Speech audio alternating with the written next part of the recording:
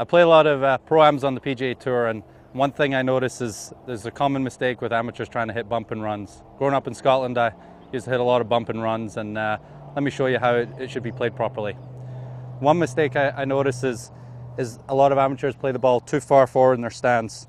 Um, I have a seven iron here, and, and I think it's a lot of the time is they almost feel like they have to add some loft to the shot. You still want to have the ball back in your stance and make sure your hands are a little in front of the ball and even though it's a seven iron, you want to make sure you're hitting down on the ball. It's still just going to pop up. You're only trying to throw it a few yards before it runs on the green.